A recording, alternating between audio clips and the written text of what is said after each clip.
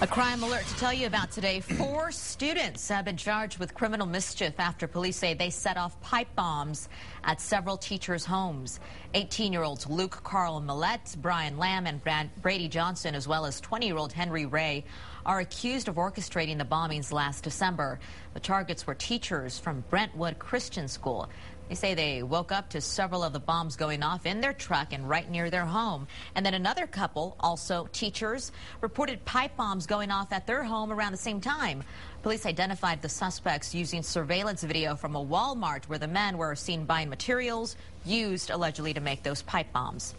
More teenagers charged with criminal mischief. This time, these two are accused of setting a golf cart and soccer field on fire. Police say 18-year-old Diego Oscar Rivera and 19-year-old Michael Christopher caused nearly $9,000 worth of damage at the Austin United Capital Soccer Club. That's in Circle C in the Metropolitan Park there. Witnesses told police they saw the two doing donuts on the soccer field and then breaking the gates to the storage facility as well.